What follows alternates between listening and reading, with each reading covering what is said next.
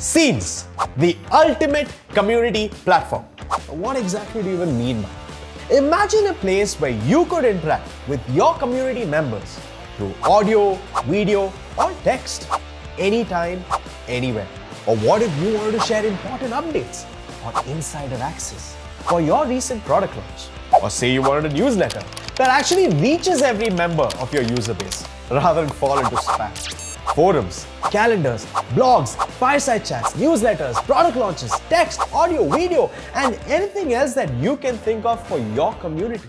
If you're looking for an innovative way to do all of that by creating an immersive community experience, then you better stick around for this app walkthrough.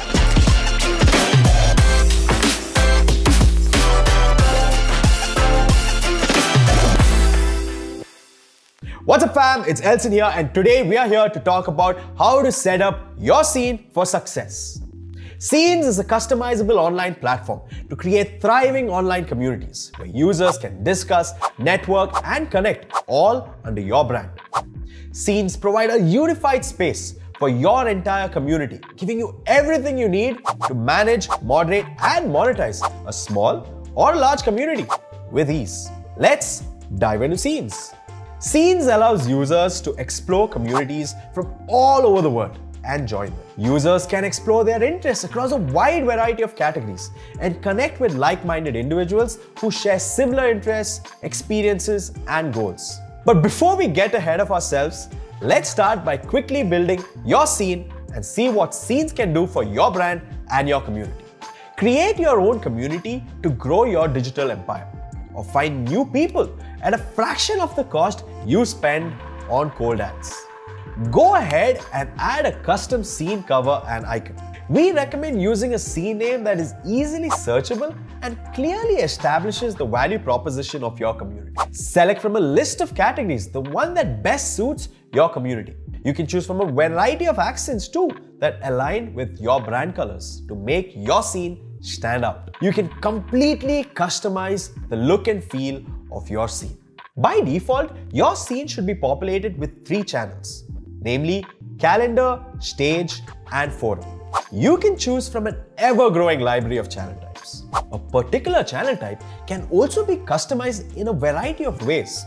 One of the channels that I highly recommend you explore and set up is the media channel. Use the media channel to create weekly newsletters, set up YouTube playlists, write blogs, and so much more. Everything you need to build the ideal experience for your user is right here. Users engage in the community by following members and scenes, as well as responding to questions and polls posted by members in the forum. Forums are a great way to harness the power of user-generated content and get feedback on your brand's initiatives. Want to interact with your community members live? Schedule an event in your calendar. Top events also get featured on the discovery session. Events are the lifeblood of any community. They're also a great way to attract new users to join your community. You can organize fireside chats, audio-only live podcasts, product unboxing events, quizzes, debates, and so much more. Your community members can set up event reminders so that they never miss out. Roles and permissions are always tricky. We know. But we've tried to keep roles and permissions so easy that even a five-year-old can understand. Because engagement is a success factor in any community, Scenes has gamified roles and permissions. You can highlight your top users by giving them custom roles and permissions. You can create an unlimited number of roles. By default, there are four roles. Number one, owner, who is the one that created the scene. Then you have administrators, managers, and guests. Each of the roles can be assigned custom permissions. There are four types of permissions hidden, viewer, participant, and manager in increasing order of the features they can access. If the permissions have been set as hidden for a particular role, none of the channels will be visible to them. The next level of permission is viewer. Viewers can read chats, view posts, comments, and even listen to conversations, but they cannot participate in them. Know who can participate? Participants, obviously. Participants, in addition to viewer permissions, can create posts, delete their posts, text, and speak on stage if invited. Finally, we have manager level permissions. Now, you generally want to be careful with who you assign manager level permissions.